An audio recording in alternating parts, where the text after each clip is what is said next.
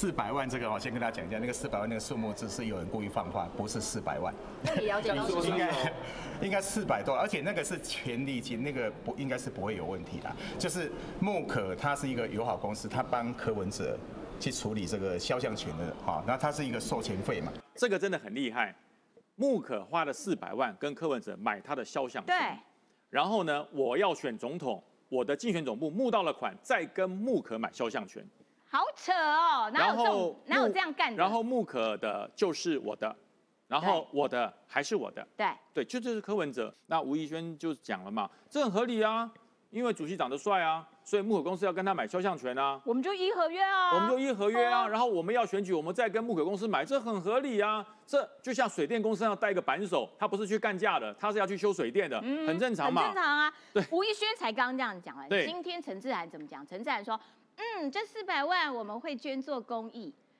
这四百万是陈志涵的还是柯文哲的？不是没错，干嘛捐出？对，不是没错吗？呃，不是可能依合约吗？可能下捐怎么捐？可能下午又改成信托了，也不一定。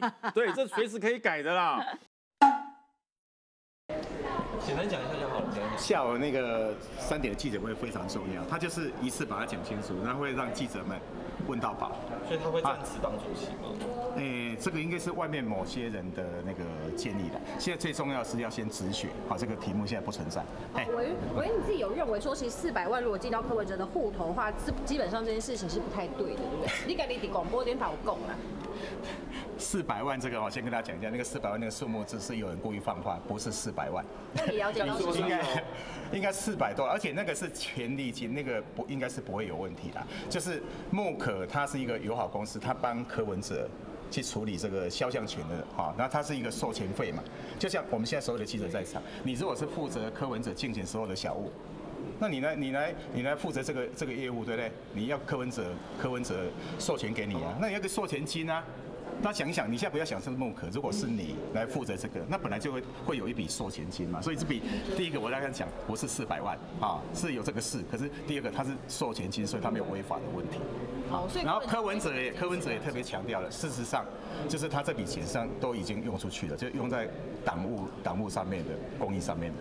这个下午这个下午让柯文哲主动跟大家讲好不好？因为下午这个记者会真的非常关键，而且他已经定位了，他就是一次讲清楚，而且会让所有记者朋友一定会问问到饱，我们问好问满，所以大家不要担心，下午问题都会解决。哎，好委员，那商办有听说现在要信托，是不是有这个考量？这个下午，这个下午等等那个柯主席跟大家报告，好不好？好，我们要把话全部都讲完了，感谢。好了，可以做一条新闻了，没问题。好，多谢，感谢，拜拜。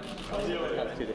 不是这个被抓到，然后哇，这个大家这个呃质疑声浪，他才不会搞信托了，有没有？好，我要请于将军上来，因为呢，昨天又传出一个消息，就是说检方查到木可汇了一笔钱四百万，嗯嗯，给柯文哲，然后名义叫做授权费，哎，对对，不是啊？这个我就觉得很奇怪啦。如果是柯文哲的肖像权，是，我拥有，嗯，那有一个靳总，民众党的靳总，因为这个靳总是帮我选举，柯文哲选举的，那我的肖像就给靳总啦。是啊，不用钱啊。那为什么要给木可？哦，对，我我其实对这四百万，我昨天很仔细的研究了，嗯嗯，就是今天柯文哲他要选总统，他要找一家公司来做他的相关的商品，所以他把他的脸跟他周边商品的这个所谓的授权给这间公司，这间公司就花了四百万跟他买断他的授权，然后我的竞选总部成立了，募到款以后，然后跟柯文哲说我们要做小，不用做，跟木可买，然后木可说好啊，可以啊，一千三百万给我。因为你们主席的脸已经被我买走了，所以你要跟我买。各位，这样有有有没有很乱？有没有很乱？我告诉大何必家要这样呢？啊，就是因为你这样子才可以把小草的钱转到木可里面。木可里面他不讲过吗？木可是谁说的算？柯文哲说的算嘛？因为他要这样子转来转去，然后转到自己身上，所以他才会有你的衣服，责无旁贷。才会无房贷贷嘛。柯文哲没有房贷哦，我要告诉大家，这个真的很厉害。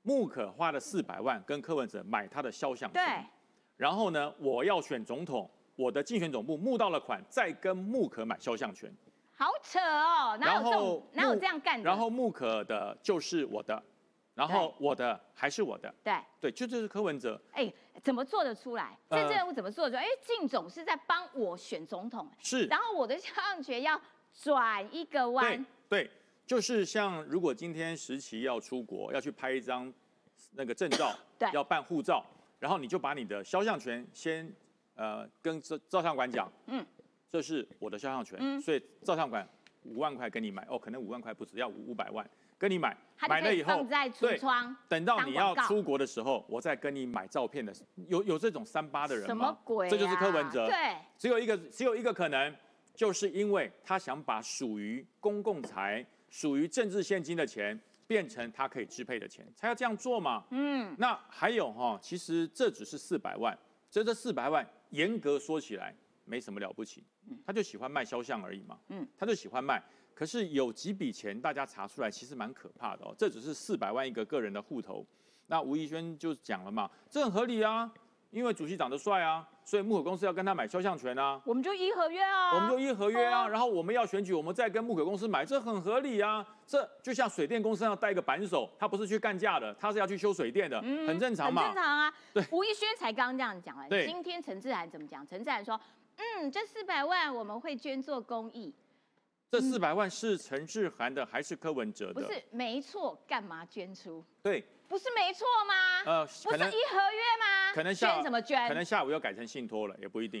对，这 随时可以改的啦。然后这一点才觉得奇怪哈，就是我们一直在想到底柯文哲的民众党，这个民众党是要做政治的，要呃福国利民的，还是要做生意的？看来是要做生意的。嗯，因为他的木可公司成立以后，他还在党部，这是简报里面说的哦，嗯说要在木可设党部，叫木可党部吧，我不知道。不知道是不是在木可设一个党部？是不是叫木可党部？据我所知，在私人盈利机关里面设党部的只有共产党。嗯，共产党每一个企业里面都有党部，对，然后党部要互相监督。可是他的党部比共产党还要有经济价值，他的党部是要做分润的。就是我做的商品，虽然已经选举完了，选举完了，竞选总部就不能够卖商品了嘛，因为你不选举当然啦，呢，那我就木可来卖。所以就是党营事业嘛。对在那边遮遮掩掩就是党营木事业。木可就直接跟地方就讲说，哎，你们多少买一点，多买一点，我们就有钱了，是这个意思。这就是盈利啊，对啊，这就是盈利啊。所以你看，民进党中央党部与地方党部开会的时候，直接要求地方党部要设立木可贩售据点呢。好好笑。那那当然，基层就说没有啦，这只是要求给他摆个样品而已。嗯不卖摆样品干嘛？如果不要卖，为什么要摆样品？对啊，摆那个干嘛？对呀、就是要卖啊。就是要卖啊。所以说，民众党地方党就说，选举完以后，其实每一次的中央党部的会议哈，他们几乎每周都会都在推销。选完了，还在推销。选完了还在卖。那你有没有想过，你有一个朋友不是卖做了好多商品摆在仓库里卖不完吗？啊哦你都不管人家卖对木可的。而且近新闻得到了独家，就是二零二四年四月份的时候，内部会议的简报，哎，二零二四年四月好像已经选完了吧？选完了很久了。嗯，对不对？一月就选完了，大大大的写着“木可小物拓展地方计划”，大方列出分润，要求呃木可行销分润，让其他地方党部有多的收入，这叫什么？这叫老鼠会嘛？你要加入民众党，对不对？先买一点木可的商品。而且那个分润的对象到底是除了地方党部，还有没有其他哎，是，那当然嗯地方党部有分润，那中央党部就有分润嘛。对中央党部的分润，那就是有没有分你的就是我的，我的还是我的，我有够穷，所以你来救济我，就不会违反师傅的这个指示，嗯就是这样啊，自己给自己啊。选举完了还在赚钱，所以很多律师就讲，政党整个选举结束以后，他不能有盈利的行为，这政党对呀法二十四条清清楚楚不可以有，否则就触犯了政党法，他就已经触犯啦，这就已经触犯啦。所以我才讲柯文哲下午的这个记者会哈，大家一直在讲说柯文哲本来要请假，其实这也是他们自己放出来的风声嘛。嗯后来又说不请假，其实请假哈不是乱请的嘞。我以前在部队当主官哈，小病来请假，嗯第一个就是头痛请病假，嗯第二个就是要结婚请婚假，嗯，第三个是妈妈改嫁再请一次假，对不对？然后呢，最最最容易请假，因为后来部队有女生的，就是生理痛，请生理假。那还有什么假？对不对？病假、事假、婚假、丧假，还有生理假。请问你请的是什么假？